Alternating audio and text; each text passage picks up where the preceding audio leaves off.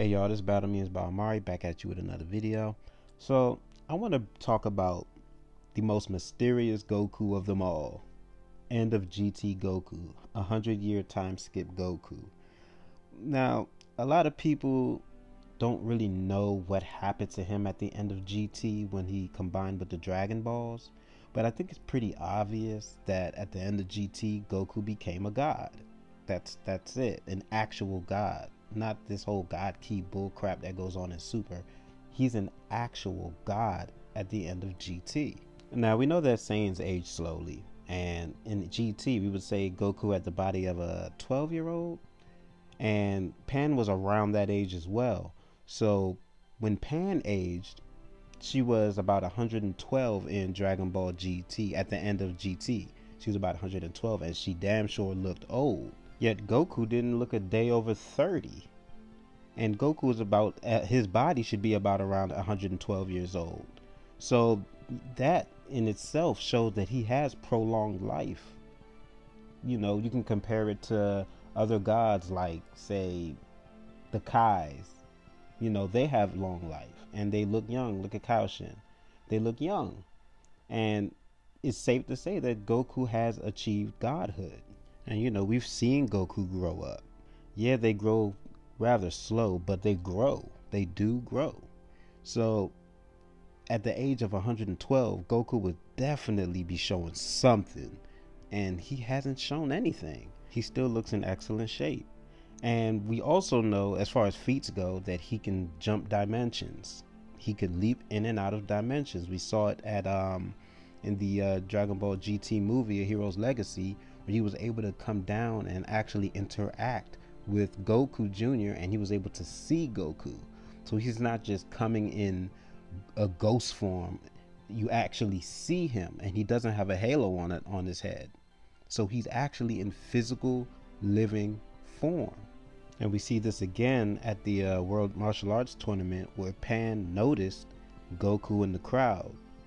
And as he was leaving, people were like moving out of his way. So wherever Goku is, he's able to leap from that dimension to the real to our dimension, in and out, like whenever he pleases. It seems like, like he doesn't have to make a pat to come. He can just go as he pleases. And I don't believe Goku became Shenlong himself because he tells Goku Jr. that you have to get all the seven Dragon Balls for them to work. Meaning, I believe that Shenlong will still show up but I think Goku more became a guardian of the Dragon Balls, seeing as how they combined with him. I think he's more of a guardian, more of, you know, to be sure that the overuse of the Dragon Balls doesn't happen again. He was there to protect that. So he's more of a a safeguard for the Dragon Balls to be sure that they don't be they're not overused like they once were and won't get corrupted again for the Shadow Dragons to show back up because apparently that's the second time that the dragons showed up, according to Mr. Popo, because he said that they uh, appeared once before and destroyed the cosmos of the planet that they were on. So it's happened before, and I believe this Goku is there to protect that from happening. Because remember, the Dragon Balls were gone for a while, and Trunks told Pan they, they were gone for it's like a test for the humans to rely on their own power rather than the Dragon Balls. And power wise, I mean, come on. We know how strong this dude was at the beginning of GT. We know how strong he was during GT. Just imagine a hundred years later. You know Goku ain't one to sit on his ass and not train, so come on. How strong do you think this guy is? I mean, it's not even calculable. I mean, the dude is he's the strongest Goku. Now, as far as Xeno and all that stuff goes, I don't know because, like I said, end of GT Goku really hasn't done much power wise. We know he can skip dimensions, but feat wise, as far as power goes, we don't know.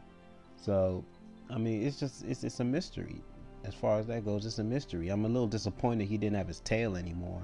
That would have been awesome, but you know, it's a mystery. So, does he still have Super Saiyan 4? I don't know. I mean, once you achieve Super Saiyan 4, do you still need your tail? That's a mystery in itself there. So, we don't know.